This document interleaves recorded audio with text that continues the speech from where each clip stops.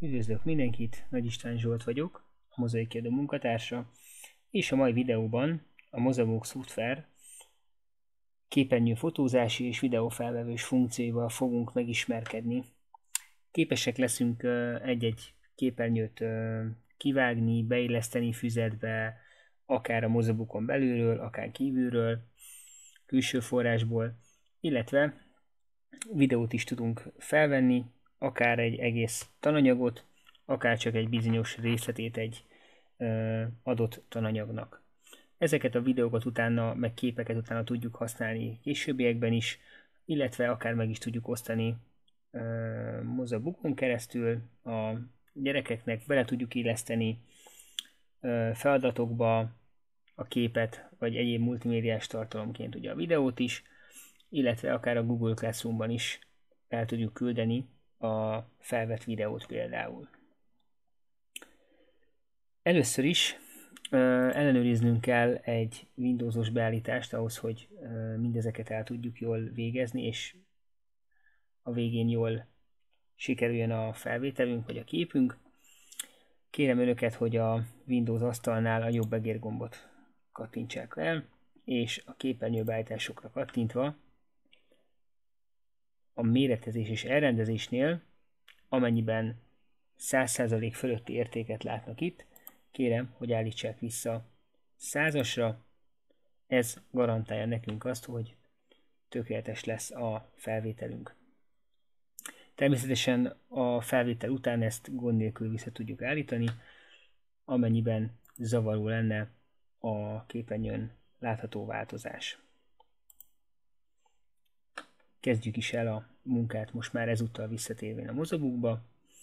Először is fontos megjegyeznünk, hogy sokan és sokféleképpen használják például a menüt a mozogóban, ami azért is érdekes, mert ebben az esetben én most a haladó menüt használom, ami azt jelenti, hogy gyakorlatilag az összes ö, mm, létező fontos ikon látható a, a menü, menüsorban.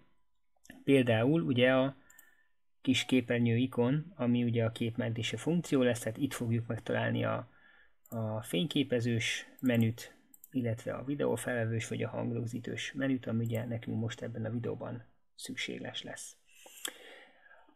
Az egyéb menünézeteket itt bal felső sarokban fogjuk tudni váltani a megjelenés alatt. Nézzük is meg, hogy ha váltunk a menü nézetén, akkor a normára, akkor látható is rögtön, hogy a kis fényképezőgép ikon eltűnt, azaz másik helyen kell keresnünk, de ez itt mutatom is, a tálca mellett jobbra lesz egy beállítások menü, egy ilyen kis lefelé mutató háromszöggel, amennyiben rákattintunk, látjuk is, hogy itt van a fényképezőgép ikon kép mentése, és elérjük ugyanúgy a menüt. Menjünk vissza, megjelenés, ezúttal az egyszerűt fogom használni, látható, hogy a menüsor teljesen eltűnt, itt ez esetben a bal felső kell visszamennünk, és a beállításokra kattintva fogjuk megtalálni a képmentése alatt a nekünk szükséges eszköztárat. Én most az önök kedvéért, hogy minden látható legyen, visszaállítanám ezt haladóra, hogy lássák, hogy honnan fogom tudni elérni a, az ikont. Mielőtt nekiállnánk a felvételnek, vagy a fényképezésnek, válasszuk ki, hogy hova szeretnénk, hogyha kerülne az, amit mi készítünk, legyen akár ez egy képernyőfotó, vagy éppen egy videó. Ezt itt ennél a menüpontnál fogjuk tudni megnézni. Most ezúttal, hogyha rákattintok, látszik is, hogy a kiadványba menteni a fotót is és a videót is, de választhatunk új füzetlapot, ebben az esetben ugye rögtön megnyílik egy füzetoldal, és oda fog bekerülni a, az általunk készített fotó vagy videó. De lehet ez egy új ablakba is, amikor rögtön nyílik egy másik ablak, illetve választhatjuk a csak mentés funkciót, ami annyit jelent, hogy, hogy a mozabuknak a belső könyvtárába meg fogjuk találni bármikor ezt a fotót, ha nem akarjuk most azonnal használni, vagy éppen videót. Ez pedig itt a mentett képeknél fogjuk látni, hogy itt rögtön meg is nyílt a, a menü, és látható, hogy a saját gépben a mozabukon belül a mentett képeknél fogom megtalálni ezeket a, a videókat, vagy éppen fényképeket. No, hozzunk létre egy tananyagot, amelyet én már itt elkezdtem előkészíteni. A mai tananyag, amit fel fogunk venni, az a 60 fokos szög szerkesztéséről fog szólni. Ugye tananyag címe már beírásra került, hogy ezzel már ne kelljen foglalkoznom. Készült egy feladat is, illetve látunk itt egy, egy beszúrt videót, erről majd még később lesz szó. Válasszuk tehát a képernyőlopási funkciót, fényképező, és én szeretnék a tananyagomhoz mondjuk a matematika könyvből kivenni egy részletet, amit én beszeretnék ide szúrni. Ehhez választhatom azt is, hogy teljes képernyőt szúrjunk be, akkor látható, hogy az egész látható képernyőt beszúrná a, a rendszerbe. Vagy választhatom a szabad kézirajzot, ebben az esetben én tudom eldönteni, hogy mit szeretnék. Nem túl szép, úgyhogy most ezt sem fogom használni, hanem egyszerűen a képernyő részlet mentése és beszúrása igont fogom választani, és én magam szépen szabályosan ki tudom jelölni azt a részt, amire nekem most szükségem lesz a könyvből. Meg is van.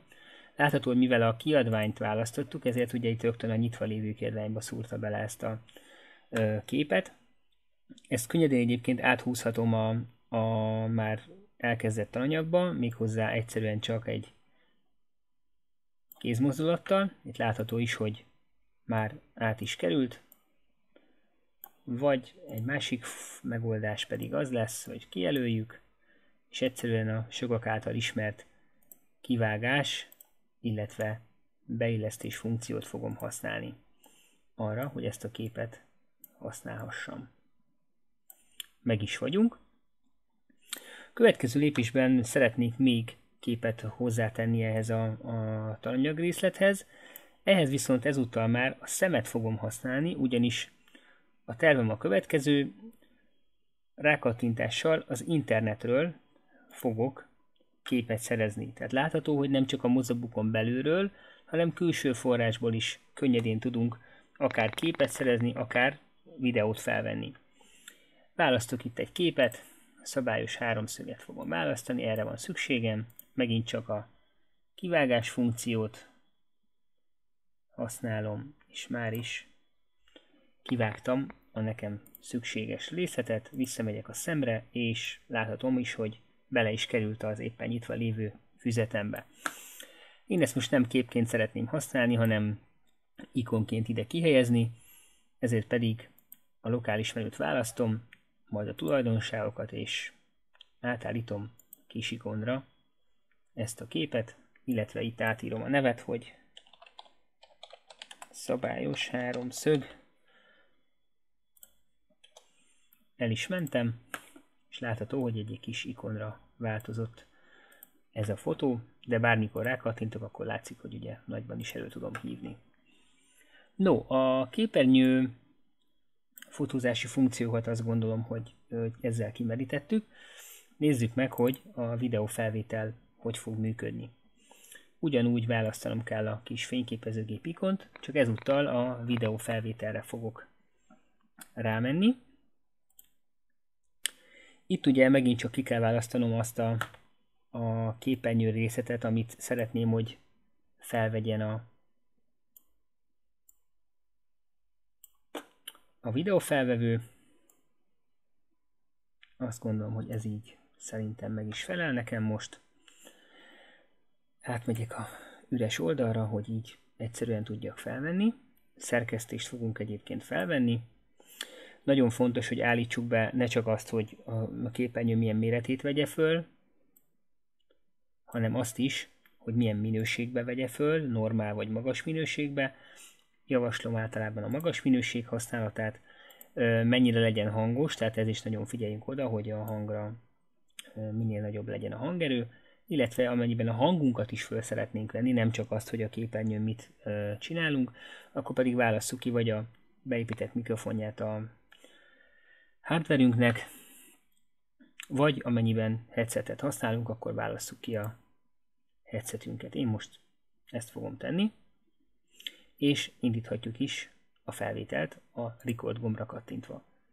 3, 2, 1, egy kicsit várunk, és már el is indult a felvétel. El tudjuk kezdeni a szerkesztést elvégezni, méghozzá használva a, toltartóban lévő geometriai eszközöket, és ugye a 60 fokos szög szerkesztését közben magyarázva akár el tudjuk kezdeni.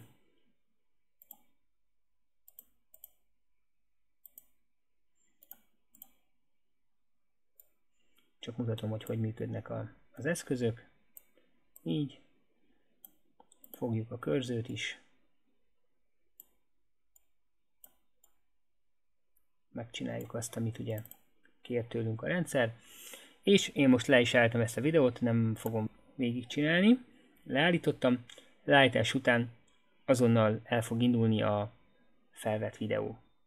Itt láthatjuk ez a 16 számú videót, hát már elég sok videót készítettem korábban, és ezzel a videóval eldönthetjük, hogy mit szeretnénk csinálni. Például, például beletenni a tananyagunkba, a rajzszögikon használatával, kisikonként, nagyikonként, képként például. Amennyiben kilépünk, akkor még csak annyit fogunk látni, hogy a videó mentése került. Azért nem szúrtam be, mert én itt már közben kiszúrtam ezt a videót, amit korábban elkészítettem, ugye ez két és fél perc lett. Itt látható, hogy a teljes szerkesztést fölvettem, és közben elmagyaráztam a tanulóknak, hogy hogyan tudják ezt a szerkesztést végrehajtani.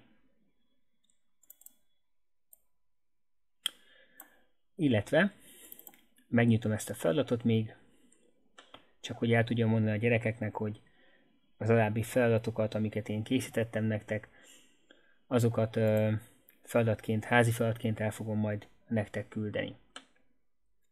Amennyiben a felvett videót, akár csak ezt a részlet videót, akár a teljes videót, amit felvettem, a teljes tananyag videót szeretném ö, megosztani Google Classroom fiókunkban például a diákokkal, nem kell más tennünk, mint megkeresnünk a mentett videót,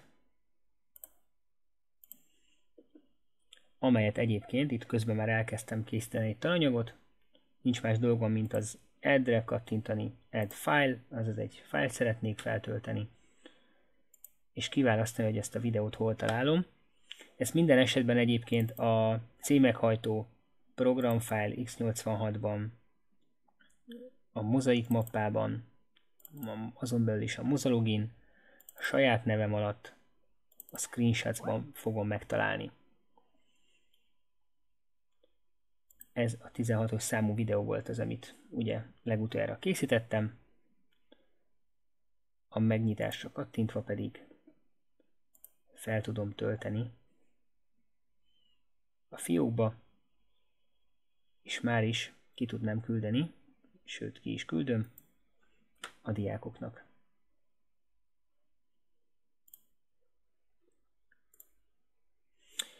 Ne felejtsük el befejezni a talanyagot, ugye mentelünk el a füzetünket, ezt megtehetjük ide a füzet névre kattintással, mentéssel, vagy pedig file mentés, meg is történt, illetve ne felejtsük el még feltölteni a felhőnkbe a file megosztás feltöltés mozewebre,